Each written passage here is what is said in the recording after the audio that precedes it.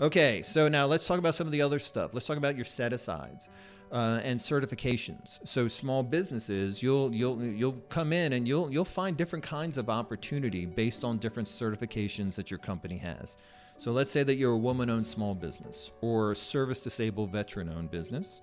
You might be 8A, right? Or you may be HUBZone.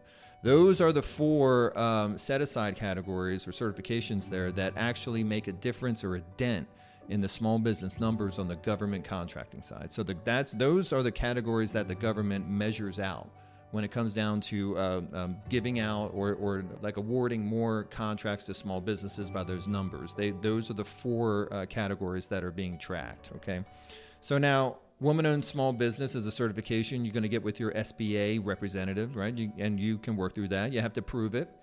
Um, there are certain rules that go along with woman-owned small business. We're not going to go over all the cert rules here but there's certain rules for that. Of course, service disabled veteran owned. That's pretty self-explanatory. It's like as much as women owned is, right? To where it's like you have to be qualified to be service disabled veteran owned. Um, 8A is a whole other program. Of course, you would go through the SBA for that as well too. Um, and then uh, HUBZone, you would uh, ultimately go through the HUBZone Council or um, and, and, and then there are lots of other groups to you know to go and help you you know with that. But your HUBZone certification is very important certification too because this is how all that works. All right ready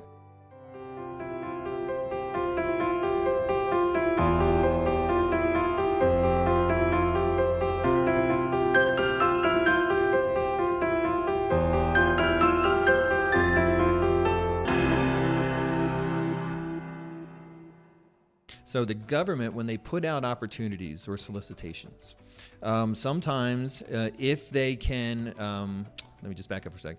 They will first send out what's called a sources sought. Okay, so it's basically the government going out to the market as much as they can, right? and say, okay, how many women owned small businesses have this kind of uh, skill set or past performance? or how many uh, veteran owned, or however, who, whatever group that the government's trying to get some more work in the hands of, right?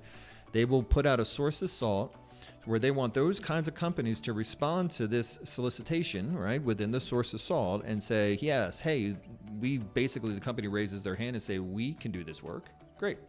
Okay, so if the government gets enough of them back, it's usually what's called the rule of two. If there are at least two companies who meet the qualifications, right, for the certifications as well as past performance and background, then that opportunity then can go out as small business, let's say woman owned small business, or veteran owned small business, or 8A, or HUBZone. Because the government will put it out when there's a good viable chance of having that, that contract be awarded to those particular small business groups, right?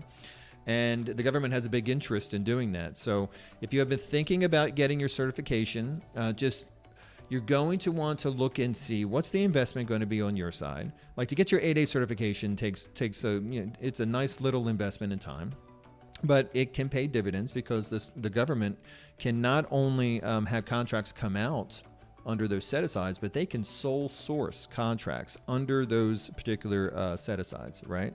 So the government has sole source contract to 8A, women owned, service disabled veteran owned, and HUBZone. They have sole source um, contract capabilities, let's just say. Okay, so with that, um, think about the investment that it would take for you to, to have that kind of certification um, uh, be built up or like done for your company, and will it be worth it? Uh, possibly. So one way to try to find that out the government agencies that you're supporting. How many sole source contracts have they given out to that um, for that um, set aside type in the last couple years? Right. That's one way to check out and see. So, and or maybe even it's even in your niche, your NAICS codes, right? Your actual capabilities. How many sole source contracts have come out under them? Okay, so that's how you're going to be able to look and at least do some research and see is getting that um, um, certification viable if my strategy is to go after sole source contracting. Now, it's also viable by these larger prime companies when they need to find a qualified small business that has these certifications. Because remember, the government is saying we want more small business participation, and here are the four groups. The prime contractors have to then adhere to that themselves. So they there's an onus on the prime contractors also to find more small businesses that are qualified that have these certifications, right? Which by the way, they use Teaming Pro platform for that as well too. So um, having those certifications can is also a value and benefit for when you want to be a subcontractor or teammate partner, right, with these larger prime companies. Okay, so there's value there as well. So think about that within your strategy. What is it going to take? What kind of investment do you have to put in in order to get that kind of certification? Is it going to be worth it? With that, you're going to want to ask yourself, like, what's your exit strategy going to be? I mean, uh, the M&A market within the federal contracting space is pretty healthy. If you have a company um, that you have some contracts on, right, that, that, that you wanted to sell to a larger entity, that happens a lot. And so, um, depending on whatever your exit strategy is, it's going to really heavily uh, influence your decision on whether or not you want to go after those kind of certifications. One other thing going after certifications. So, the 8A certification has a time limit that lasts about 10 years. Okay. Hub zone certification is um, that is facilitated through how many employees you have and how much um, where your headquarters and all sorts of stuff, or where your people are. Are they in HubZone um, areas? Okay, so growth will will help um, you know you know blow you out of your hub zone certification essentially, right? If you start hiring in other places that are not HubZone. Um, your veteran-owned small business is veteran-owned small business forever, as long as you own that company. And then same thing for woman-owned small business, right? Your woman-owned small business forever as long as you own the company and follow the rules. So when you go to sell your company, you got to think about that. You, if you have a woman-owned small business and there's intrinsic value to that, right?